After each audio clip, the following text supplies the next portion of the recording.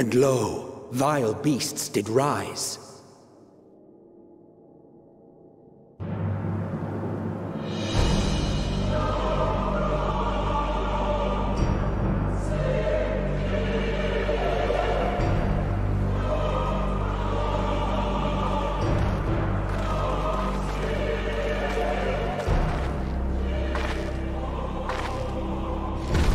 leaving naught in their wake but blood and ash. Scorches earth and boils seas. And our sins ascend unto the heavens. Three dooms to unmake all we were.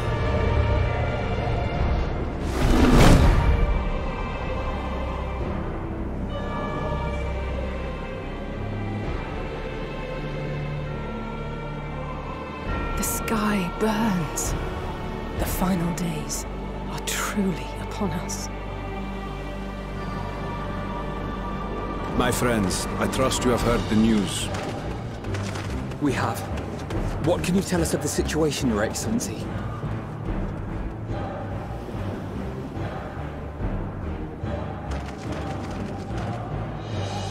Last night, the Isle was rocked by tremors and the earth itself cried out.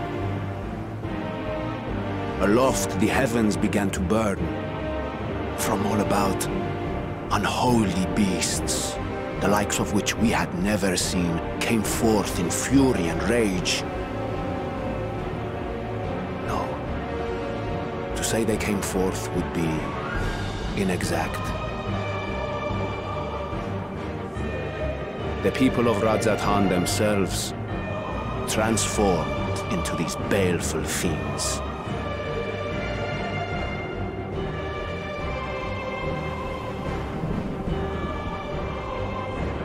Though the phenomenon was observed throughout our lands, the first creature, the largest and most dreadful of the lot, wrought havoc upon us here in our fair city.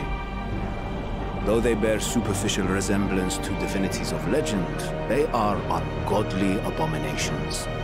The people decry them as blasphemies. The Large One's rampage has since taken it to the northern reaches of the island. I mean to dispatch our Radiant host in an attempt to quell the threat. And what of Vritra? Vritra too makes for the north of his own accord, and yet... He knows the blasphemy and its minions were but yesterday his beloved people. I pray his boundless compassion mercy does not deter him from taking unenviable but necessary action.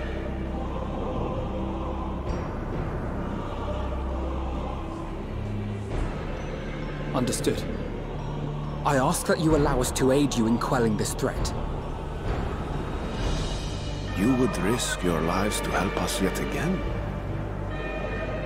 I have no words to express my gratitude. Our regiments approach the north from several directions, with a number of units set to depart from the docks of Yedlihmad. They will make landfall in an area of dense jungle, where one can expect to encounter dangers even beyond the fell beasts we hunt. I leave you to your preparation.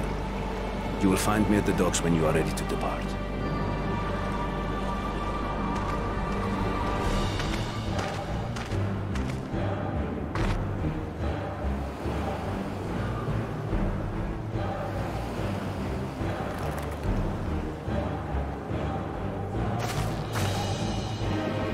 As prepared as we'll ever be.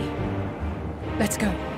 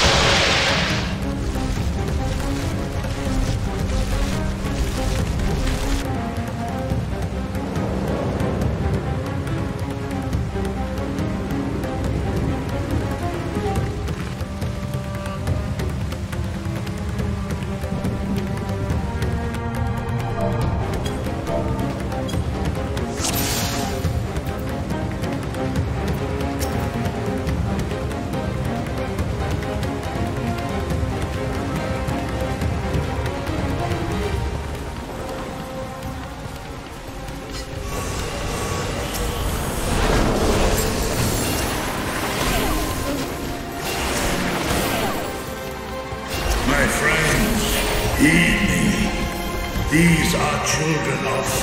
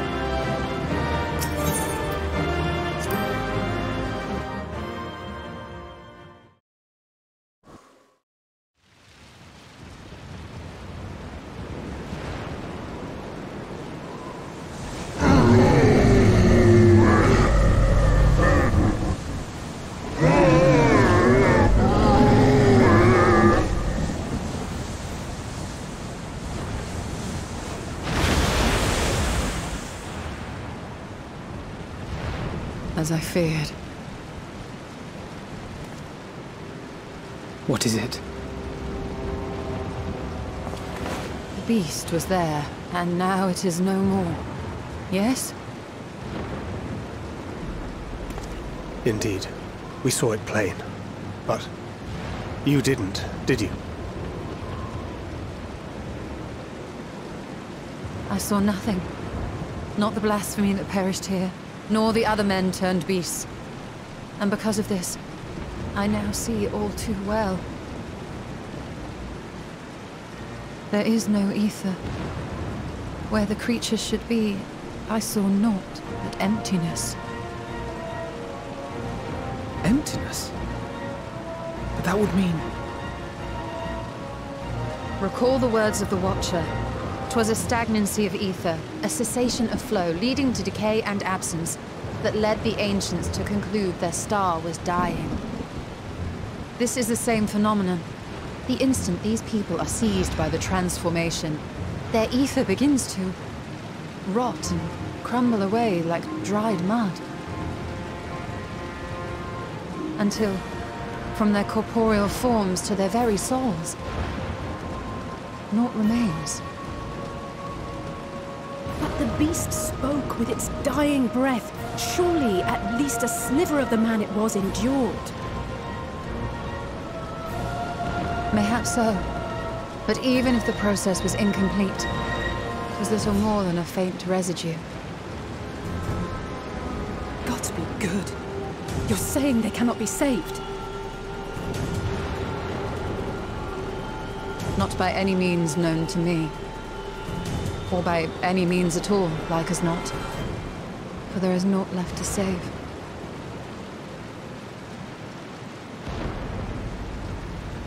They return not even to the ethereal sea.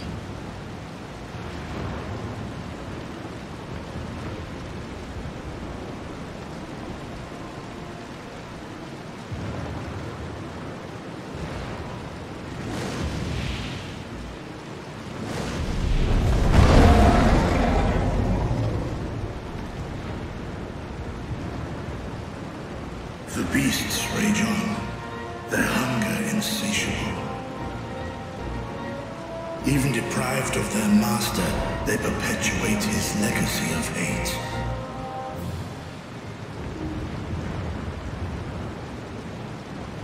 Once proud sons and daughters of Thavnair, all of them, and now I spill their blood.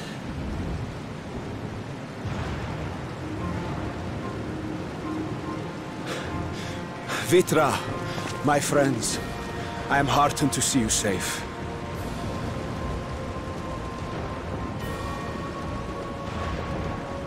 You put your secret at risk. Those closest to me already know the truth. A truth I must now share with one and all.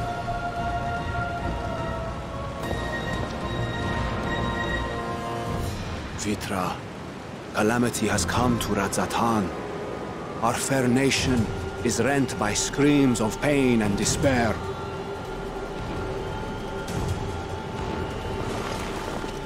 More than ever, we require a strong leader to shepherd us through the storm. Reveal your true self to our people, Vrtra, and guide us to salvation. What madness is this, I One? Thou dost forget thyself. Were we to reveal our duplicity, it would do naught but foster confusion and chaos. Nay, I shall remain the Satrap's loyal ally and do battle with the beasts. Easing hearts and leading the people to safety is thy task, and thine alone.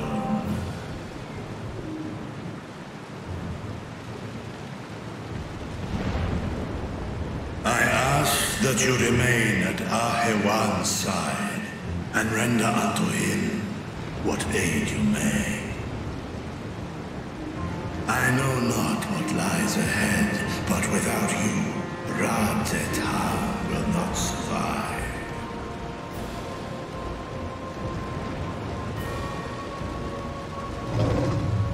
Take me with you. I am as at home fighting in the air as I am on land. Take me with you. Were my words unclear?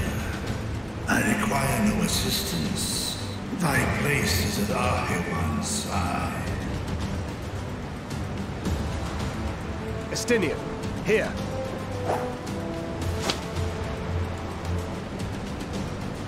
The last thing you ever wanted, a link pearl. We'd gain much from knowing your elevated perspective. And it'll keep you from getting lonely, which I know you know.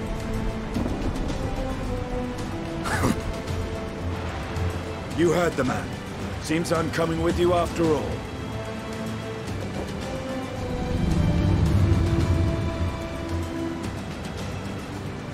Then I pray thy grip is iron. Be it on thy head if thou dost chance to fall.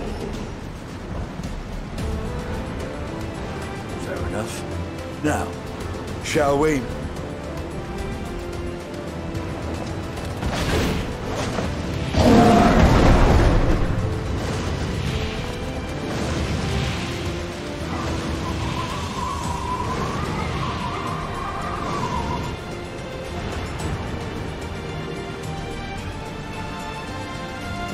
I fear it is as Vrtra says. We will not survive this on our own.